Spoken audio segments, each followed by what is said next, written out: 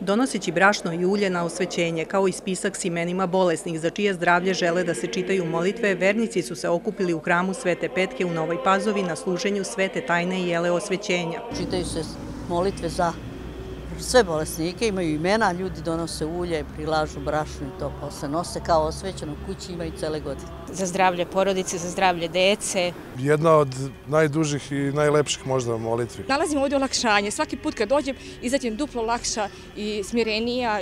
Sveta tajna jele osvećenja jedna je od sedam svetih tajni, a naziva se još i jele pomazivanje i već nekoliko godina služi se u Novopazovačkom pravoslavnom hramu. Osveštava se ulje i tu svetu tajnu služe sedmonica sveštenika nad bolesnikom ili nad bolesnicima ako ih ima više.